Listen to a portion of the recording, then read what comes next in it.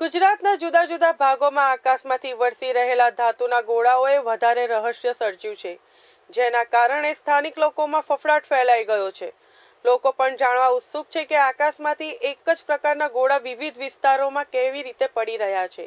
બે દિવસમાં ખેડા અને આણંદમાં તો આવા ધાતુના ગોળા આકાશમાંથી પડ્યા છે, જ્યારે હવે વડોદરામાંથી પણ અવકાશમાંથી ગોળા વરસતા લોકોમાં કુતૂહલ સાથે ભયનો માહોલ છવાય છે.